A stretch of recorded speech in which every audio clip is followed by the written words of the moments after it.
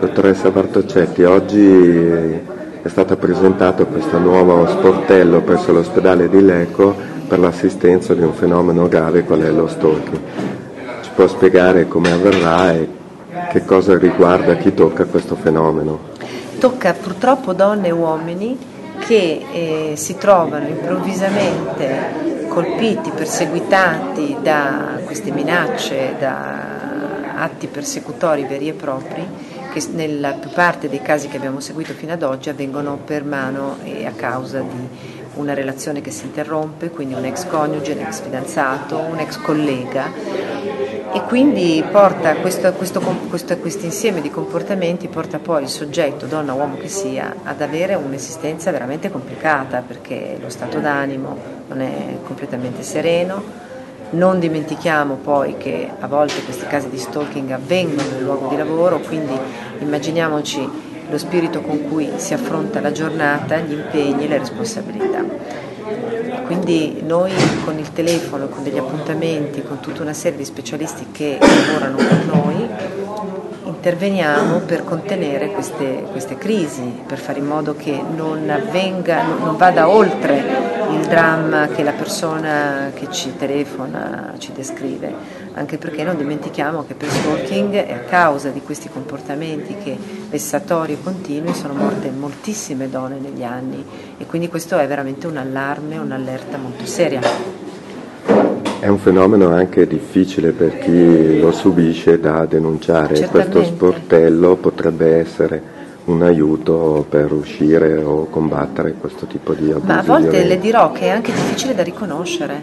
perché spesso si tende a minimizzare, cioè nella quotidianità accade che una donna che abbia perso il fidanzato e,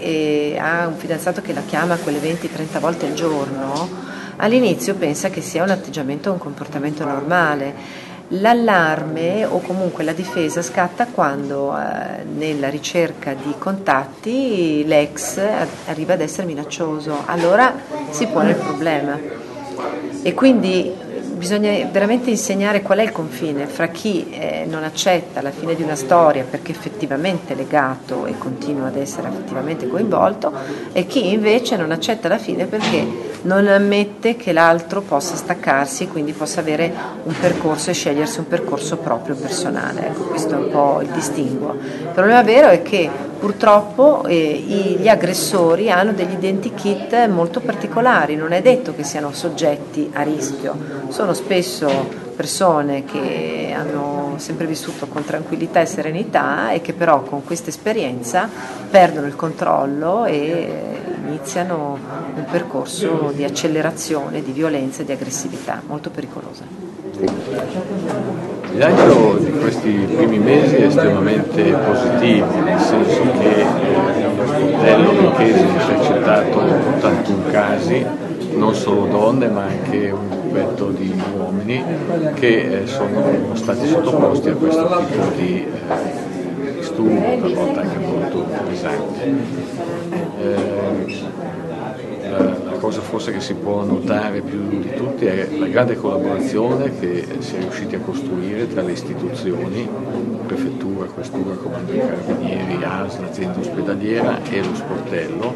proprio per rendere presente sul territorio un punto di riferimento cui le vittime dello stalking potessero rivolgersi con molta libertà, con la riservatezza che questo caso richiede. E la cosa sta funzionando, c'è uno scambio reciproco di informazioni tra eh, le forze dell'ordine dove normalmente la gente tende a rivolgersi e lo sportello che quindi va sempre più fatto conoscere e quindi confidiamo che insomma, la cosa possa eh, svilupparsi ulteriormente in futuro. Il Giorno Lombardia ha investito molto su questo progetto, i due sportelli sono uno a Lecco e uno all'ospedale di Niguarda la Regione Lombardia ha messo a disposizione 160.000 euro per questi sportelli, quindi una somma rilevante che consente agli sportelli di funzionare 24 ore su 24 e questa è un'altra caratteristica molto importante perché una donna, un uomo perseguitato da queste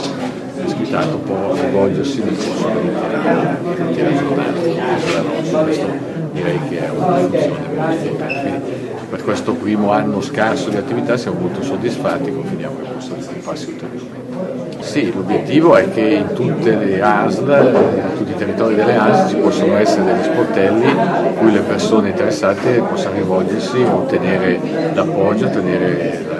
conoscenza di percorsi da fare per liberarsi da questo dramma che è un dramma tipico di questi nostri anni,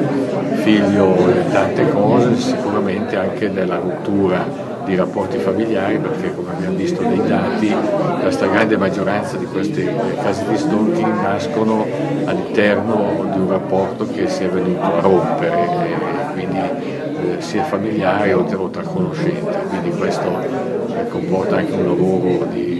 prevenzione che possiamo fare attraverso i nostri consultori, un percorso interessante che deve essere presidiato su tutto il territorio regionale. Dottore Lovisari, l'ospedale diventa la casa di questo importante servizio eh, contro lo stalking. Ci può spiegare i motivi e come funzionerà? Sì, diciamo che è frutto di un accordo tra l'azienda ospedaliera e l'ASL, stiamo andando incontro a quella che è una eh, indicazione precisa di Regione Lombardia che vuole che noi organizziamo degli spazi per,